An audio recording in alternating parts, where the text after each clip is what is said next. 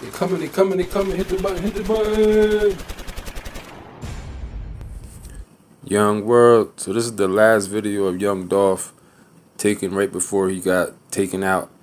He was getting gas at a gas station. This video is real creepy. The reason why to me is that he's at a gas station. This is not a surveillance camera. This is not the gas station surveillance. This is somebody recording him I don't know from a distance or how far away they were, but somebody who he's not uh, paying attention to. So you would think that if a person seen a celebrity, a young Dolph or anybody like that, wouldn't the average person, especially in this day and age, probably say something to him, want to take a picture with him? You know what I'm saying? Young Dolph was good, like something. Everybody wants publicity. Everybody wants internet. To put it on their Instagram. Like everybody would do that nowadays. Who wouldn't do that? So why is this person that's taking this video seem to be sneakily recording him from wherever they're at. I mean, I just think it's a little bit weird that somebody was recording him sneakily like that.